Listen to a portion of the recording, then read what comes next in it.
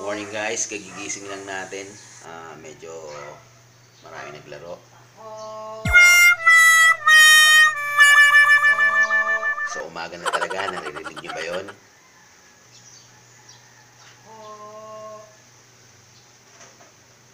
Yun ang hudyat ng umaga na mga homie ka dyan. So, bukod doon, may papakita ako sa inyo. Kilala nyo ba si Peace ng X-Men? Ah, andito siya sa shop ko ngayon, naglalaro. So, ayun si Peace. Lalapitan natin. Itatanong natin kung totoo yung balita kung patay na si Iron Man. Peace!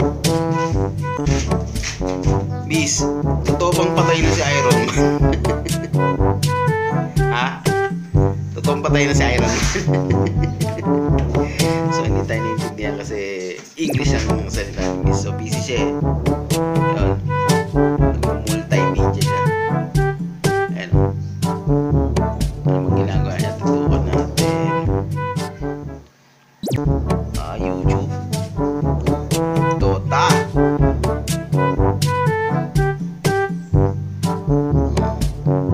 So, ayan guys. Ah, ang aga ni ngayon dito, ginising ako para maglaro